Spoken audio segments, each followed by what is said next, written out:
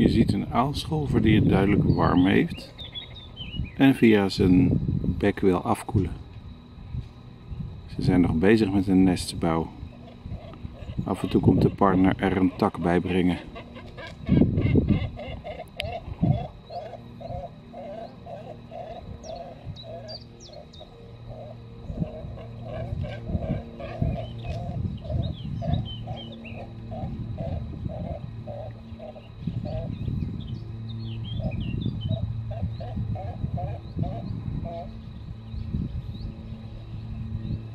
Misschien hoorde je op de achtergrond de Settische zanger zingen.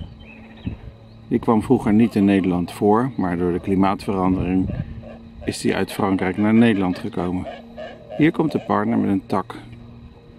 Die wordt overgebracht en in het nest wordt verwerkt. Je ziet een mooie witte dijvlek die broedende aalscholvers hebben. Dat is sexy voor broedende aalscholvers.